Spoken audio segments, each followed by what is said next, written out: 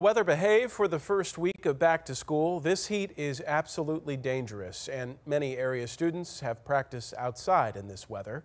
St. Louis 11 meteorologist Jamie Travers spoke with a high school athletic director about how they keep their athletes safe. She joins us live this afternoon with more. Jamie? Yes, well, Mike, as you mentioned, temperatures and heat index readings are all reaching dangerous levels across the St. Louis region as high school fall sports ramp up. So area schools follow state guidelines and they do that while continuing to prepare for the upcoming season.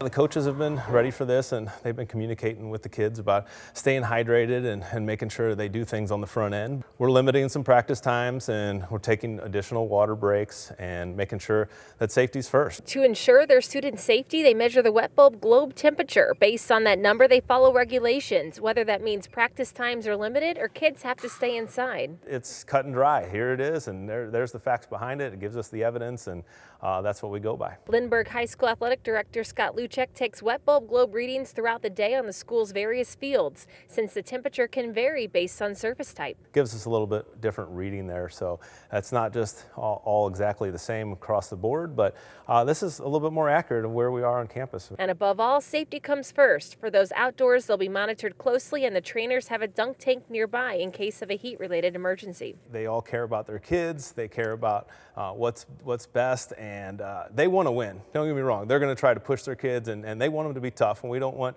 you know kids to not be tough out on the field. But there's a difference between being tough and just not being smart. And all our coaches are smart, and they're going to take care of their kids. And the players are appreciative of not having to endure the heat unnecessarily. We use this so we can still have many opportunities to hit, and these batting cages are a great resource for that. So we can work on our improvement on the game, and we can do this inside, staying safe without the heat instead of being out on the field. And today's wet bulb globe temperature out on the field was about 89 degrees, which, which meant football players could practice outdoors with extra water breaks and with their half shells only. They're above 92 with the wet bulb globe temperature. If it's above 92, that means all the students would have to stay indoors. Reporting live from Lindbergh High School, meteorologist Jamie Travers, St. Louis 11 News.